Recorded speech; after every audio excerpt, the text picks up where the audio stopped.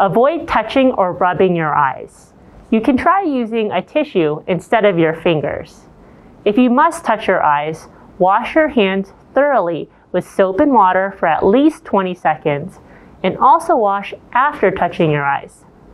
The best way to protect ourselves is wear a mask, practice good hand hygiene, avoid touching or rubbing your eyes, socially distance, and get the vaccine when possible.